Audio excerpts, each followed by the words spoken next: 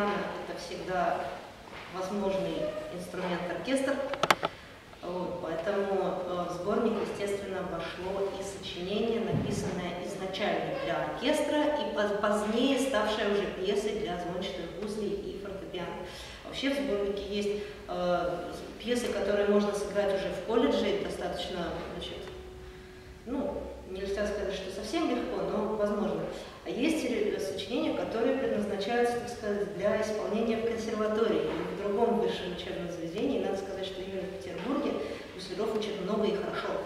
То есть в Москве их учат тоже много и хорошо, а вот в других городах России с этим есть серьезные пробелы. То есть есть а, музыкальные школы, а, есть колледжи, есть в Обскове замечательная совершенно и традиция исполнительства, а, не только народная, но и академическая. А, есть школа и, соответственно, в, таком, в методическом, в широком смысле школа. Вот, и есть несколько музыкальных школ, где это действительно очень здорово идет обучение, и есть колледж. Вот. Но не все города, как Псков, Москва и Петербург, имеют три ступени. Вот в некоторых городах, в Твери, в Кемерово, в Волгограде, в Белгороде есть школьное образование, и дальше, соответственно, его нужно ехать продолжать в другие города. Тем не менее, музыка на звончатых гуслях звучит много где в России, и делаем это и камерными составами, соответственно, и делают это оркестровые коллективы. И гусляры часто становятся солистами с оркестром. Вот следующее сочинение, которое прозвучит, это концерта Гросса Ориенталь или концерта Гросса в восточном стиле.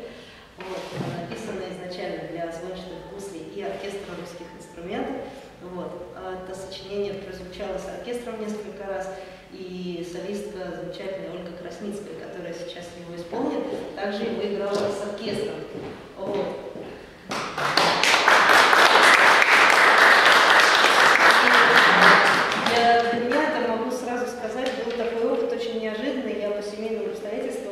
В Индии, и впечатление было настолько ярким, сильным, захватывающим, что музыка сама зазвучала, и, соответственно, часть больше я написала прямо там за неделю пребывания, а дальше уже, значит, до, довершила э, технические подробности уже в Петербурге.